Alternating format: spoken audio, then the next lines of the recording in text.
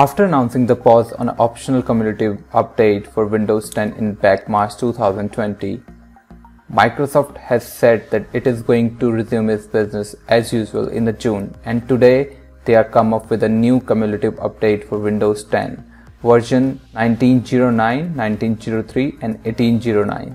Before we start, if you are wondering what is your Windows version is, quickly go to the search bar and type about your PC. When you click, you will see the option. You have to come down in the Windows specification. You can see that I'm using the version 2004. So if you're using a version 1909, 1903 or maybe the 1809, so then this update is for you. Now let's go quickly to the Microsoft official website and see what is the update about. The link of this official page I will provide you in the description. You can go there and find out. Okay, let's start with the people who has a Windows 10 version 1809. So I click over here, Windows 09 and then you have to come down and in this release you can see the July 21 2020 they have released date. So once you will install the update your OS build become 17.763.1369 if you are wondering what is the OS build where you can find it in your system go to the again settings in about and you can see the OS build is written here. So if you come down and you will find the highlights, improvement and the fixes. So update an issue that might cause the magnifier to stop working in Microsoft Excel and you can read more about it. Now let's quickly see the people who have the Windows 10 version 1903. So if I click here 1903 you have to come down and see the latest release. See there is a two build number 18362 and 18363 so this is because for a 1903 and 1909 they have the same updates. So if I go and click over this link, so it will open a new window. When you go to the update, you can see the update number 9004 and you can come here and see the 9004.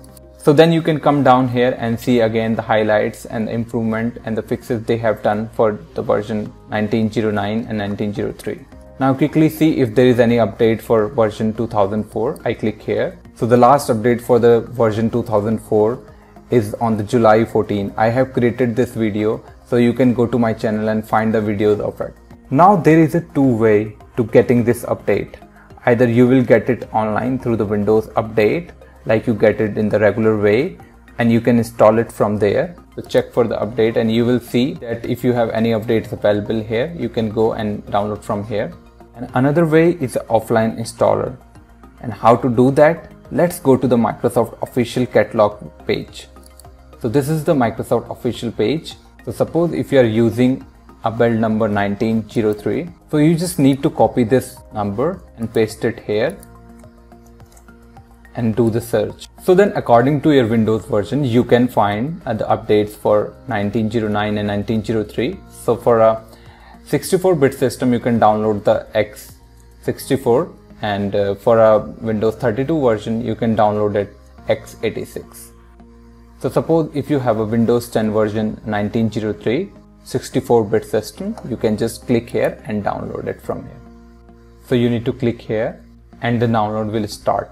So once this downloading will be finished you can just run this installer and the update will be installed in your system. Thank you for watching my video fam. If you have any query, please comment below and I will try to reply it. Thank you.